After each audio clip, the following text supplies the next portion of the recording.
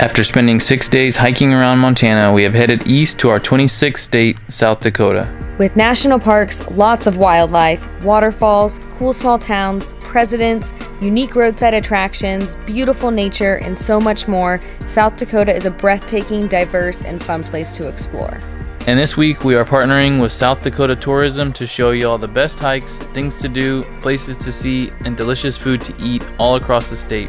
We're excited to bring you all along as we experience it all for the first time. Welcome to South Dakota.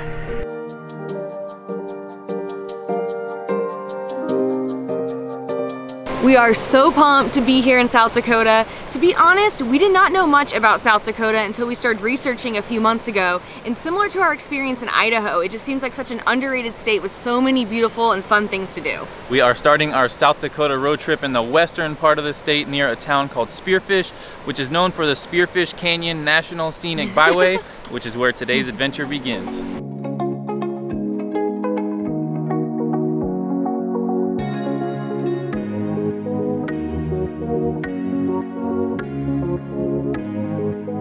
Our first stop in Spearfish Canyon is this spot called the Devil's Bathtub, which looks like this really cool little swimming hole with a natural water slide, kind of like the one that we filmed behind my parents' house during our time in Austin quarantining, but it looks quite a bit cooler.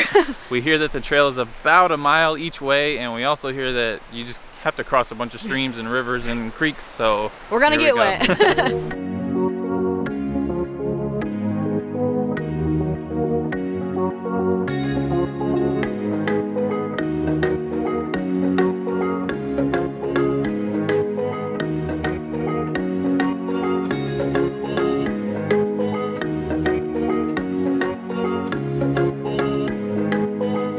This trail has been a little confusing so far. We've crossed the stream maybe five or six times and there's times where you don't know whether you're supposed to cross it or keep going on the same side. It's kind of one of those choose your own adventure kind of trails it seems like and right now is one of those times where we don't know if we're supposed to keep going or cross the stream. I don't know, we'll figure it out.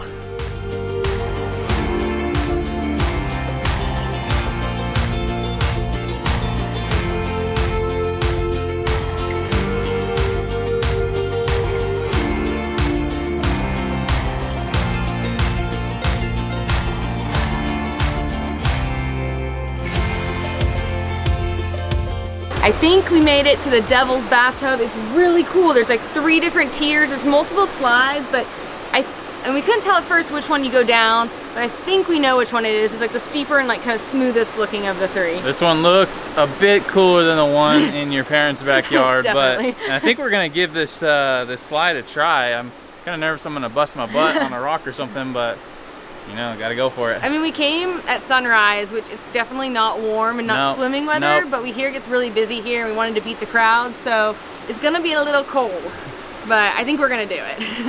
we're not big daredevils, so I'm a little nervous about this. I don't know, it looks fun, but I just, just don't know what to expect. And we've seen lots of videos of like little kids going down it, adults going down it, so we're about 99% confident that this is a pretty normal, safe thing to do. oh, it's cold.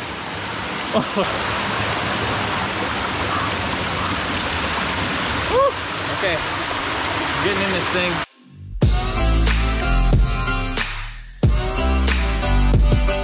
Oh, oh, it's so cold. Oh man, Woo!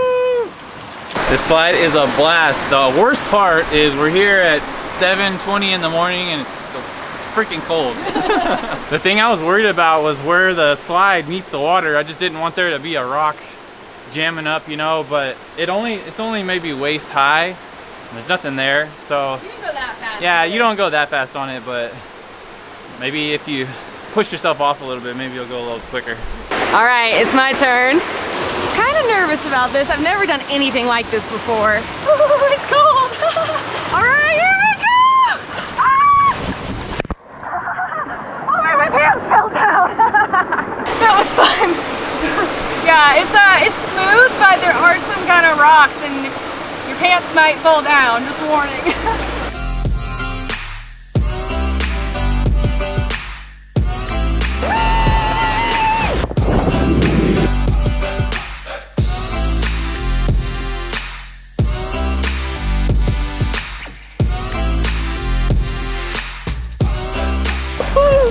So much fun. One of the best parts is I took some photos of Adam going down the slide and when he's like hitting the water, his face is like,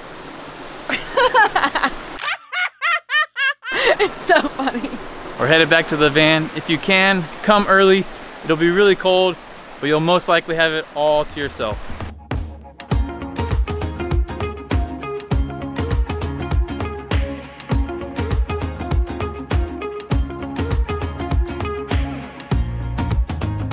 Like we mentioned earlier, we are on the Spearfish Canyon National Scenic Byway. It's a beautiful area with a river running through it and some stops to see some waterfalls and some hikes. So we're gonna drive around and see what we can find.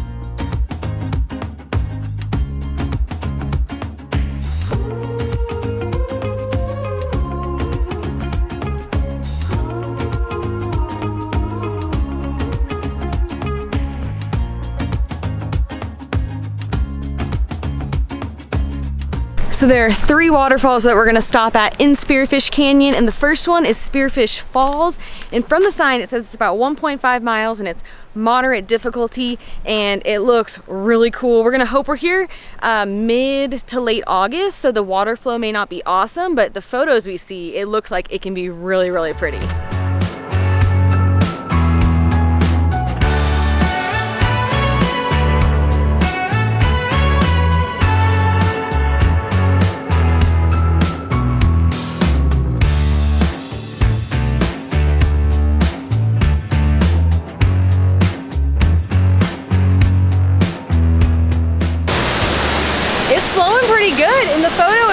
Like giant stream, but it's a bunch of like different waterfalls all together. It's so pretty.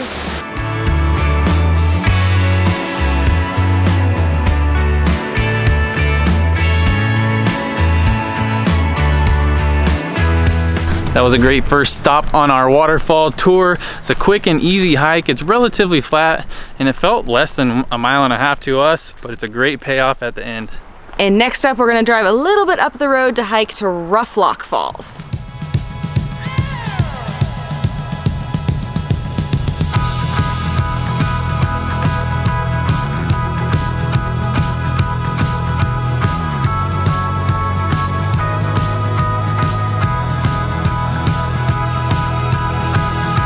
With Roughlock Falls, you have two options. There's a trailhead that's about a mile, or you can keep going down the dirt road and just park, and we think you can just walk right up to it.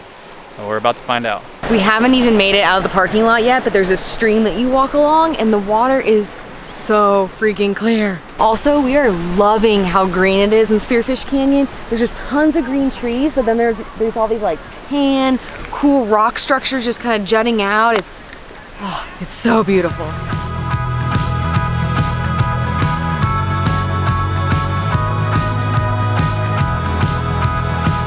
So it turns out there is a little bit of a trek to be able to see the falls, but it's a nice paved pathway like this, so it's not too bad.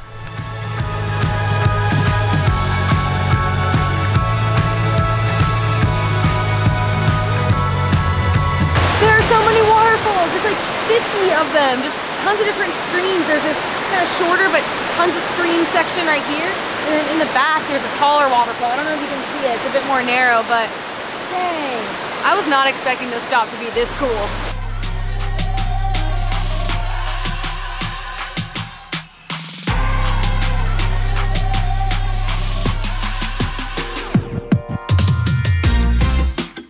And for waterfall stop number three, we're at Bridal Veil Falls, which is actually just a little overlook on the side of the road, so it's super quick and easy. Okay, we lied. So there's the boardwalk here you can get a view of, but you can also walk down below the boardwalk, cross the little stream, and get to the base of it.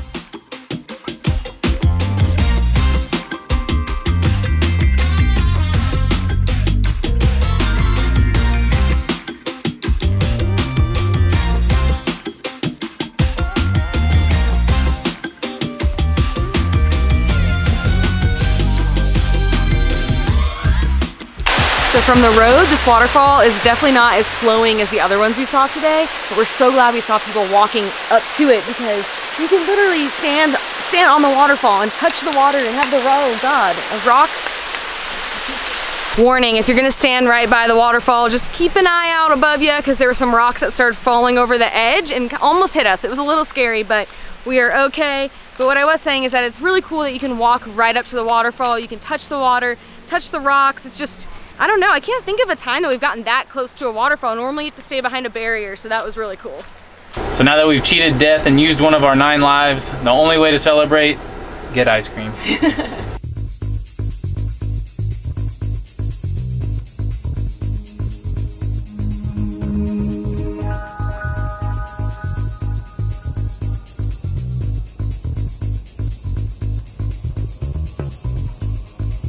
All right, we made it to downtown Spearfish to Leone's Creamery to get ourselves some ice cream. So I got strawberries and cream, and then on the bottom is chocolate, peanut, no, peanut butter and chocolate M&Ms. Yeah, and I got the same peanut butter M&Ms, and then I got chocolate chocolate chip. They sounded like they'd be really good together. Yeah, and as you can see, mine came in a special little container here. a gluten-free cone with chocolate dipped, oh, of course. I'm so jealous. I didn't know that coming in, so. It looks so good. so this place is like a cute little, well, they don't have the inside open right now. Yeah. You order at the window, but it looks like a really cute place. It's like kind of tucked into this like really historic looking building, Mm-hmm. just in the middle of downtown. They change their flavors all the time. They have eight flavors and they basically just swap out whatever ones sell out. So the peanut M&M one is a new one. It wasn't on the menu like a day in, ago. Yeah, I came in wanting a certain flavor. We showed up, they didn't have it. I was a little disappointed, but strawberries and cream sounded good, and so did the peanut butter chocolate M M&M, which is the new one that I didn't know coming in. So Oh. I'm pumped for it. It's gonna be real good. Oh my god. I was hoping it was peanut butter ice cream. It and I'm nine, yeah. Oh I my gosh. Peanut butter ice cream is probably one of my favorite ice creams of all time. Peanut butter or caramel. Oh, and it has the crunch of the M&Ms. Y'all know we like our chunky ice creams. Ooh. Mm-hmm. Good. It's nice and got a pop of the strawberry, but it's also creamy too. It has a little bit of crunch from the seeds. That's really Oh, good. yeah? Mm. That's really good strawberry ice cream. I shall feed you chocolate chocolate chip. They're all super creamy, delicious, smooth, Yeah. nice and ice cold, of course. They have some interesting flavors as well, like avocado Yeah. and Earl. No, London fog. London fog. Yeah. So yeah, this place is incredible. Yeah. Super good after a morning at the canyon. Yeah.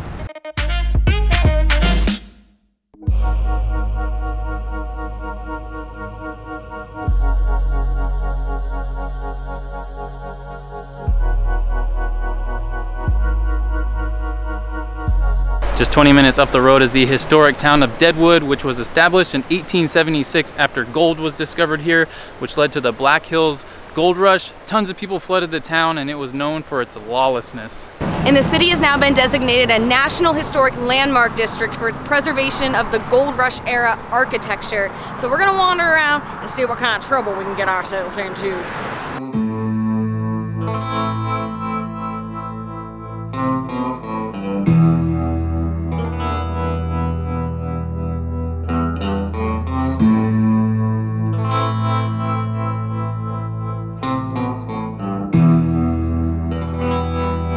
Love us a good theme town, and I guess this technically is not a theme town because it's mostly the original architecture, but wow, this is probably the coolest town we've ever been in. The architecture is just very historic and beautiful and unique, and it feels like we've either stepped back in time or stepped onto a movie set. Oh man, it is awesome.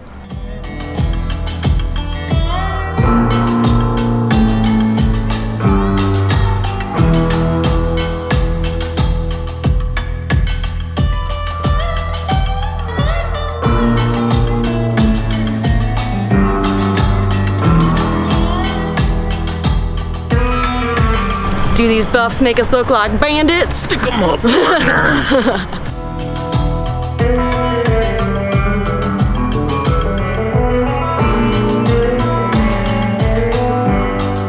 One of the more popular things to do in Deadwood is to come to the Mount Moriah Cemetery. Not only does it have beautiful views of the city and the hills surrounding it, but it's the final resting place of a few famous residents.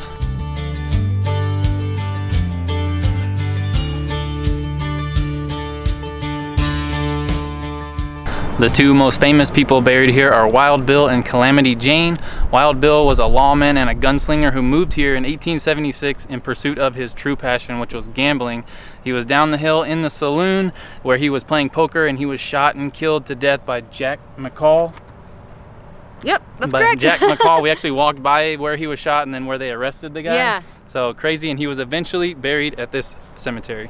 So a little bit about Calamity Jane, and I didn't memorize my facts, so I'm gonna read off the brochure they gave us. But she was known for her boisterous lifestyle, and she had varied occupations like a cook and a laundress, woman of the night, a bullwhacker, and she also was a storyteller in Buffalo Bill's Wild West show.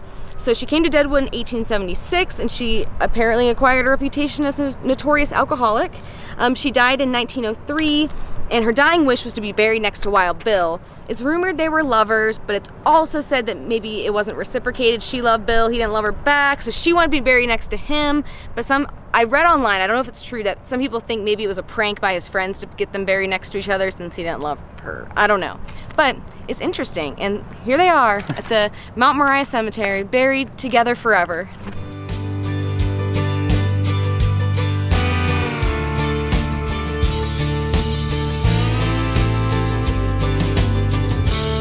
We forgot to mention that it costs $2 per person to enter the cemetery, but I think it's free for kids and it's totally worth the cost. Not only are the views from the cemetery beautiful of the city and the hills and mountains around, but the cemetery itself is gorgeous. It has these really tall, super pretty trees, and it was really fun to get to learn some history of the Deadwood area.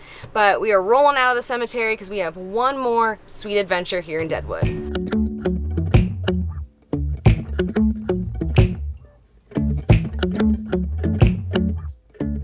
We haven't met our sugar quota for the day. and we were told by our patron Trevor to come to this place called Chubby Chocolate. Chubby Chipmunk. Chubby Chipmunk Chocolate. Chocolate. it's cute, they have Alvin and the Chipmunks outside. So we got a couple little treats here. Oh yeah. I think they're known for their truffles, but Adam got something well, mine has, very... There's a truffle in there. Oh, Adam's is intense. See, this little thing, is not gonna do it for me. I have to go for the bigger items. Ah! Hey! Adam's motto is go big or go home. Yeah, buddy. So I got the devil went down to Georgia. He found a spicy caramel patty topped with a hot mama truffle and smothered with spicy dark chocolate. I don't think that goes to the tune of no, the song. No, it didn't, but well. I tried. I tried to say it as fast as I could. But yeah, there's dark chocolate on the bottom. There's, uh, it says homemade caramel, spicy caramel, and then there's a truffle smushed on top of there. It has glitter on it. Yeah, the truffle that is in there is supposed to have 66% cocoa and then I think like five or six hot peppers in it or something. So it's definitely gonna be a oh hot mama. Oh my goodness. I asked the woman working there what was the most popular truffle and she said the Chipmunk Treasure, which is a milk chocolate center with toffee, praline, and coconut Mm. like my favorite things mm. ever. Uh, dipped in dark chocolate and topped with almonds and toffee. Boom, boom. It looks really good. Shall we try? Say chipmunk treasure five times fast. Chipmunk treasure, chipmunk treasure, chipmunk treasure, chipmunk treasure, chipmunk treasure. You did it, wow. Mine dominates yours. Boom. Whoa, I haven't even fully tasted it. It's so good. Oh my god. The inside has this um really soft milk chocolate and like a gooey, I guess, praline goo. Oh wow. This is delicious. The the caramel is nice and like chewy and stringy and good. I haven't gotten much spice yet, but I'm sure it's in there. We're gonna get to it eventually. I was expecting a lot more heat, kind of like the, the the chocolate covered peppers we had in Santa Fe. So I don't I don't really see much heat, so I'm kind of let down on that. But otherwise, it's freaking delicious. This is this is awesome. It's heaven. I took a bite of Adams and I definitely felt the heat in my throat, but maybe I'm just a wimp. That chocolate was delicious. Thank you so much, Trevor, for telling us to go there. But man, we are in a sugar coma now. We've had way too many sweets today, so we're gonna head to our campground and just relax for the rest of the day. We're kind of campground hopping during this trip, but the first two nights we are staying at Grizzly Creek Primitive Campground, which is near Custer State Park. But it's been an amazing first day here yeah. in South Dakota. We kind of knew what to expect from researching, but it's honestly just blown us away so yeah, far. Yeah, I'm still thinking about Spearfish Canyon, like the canyon walls and the river running through it, and just the lushness is absolutely beautiful. So beautiful. But we are gonna rest up the rest of the day because we have another big adventure tomorrow with some very familiar faces.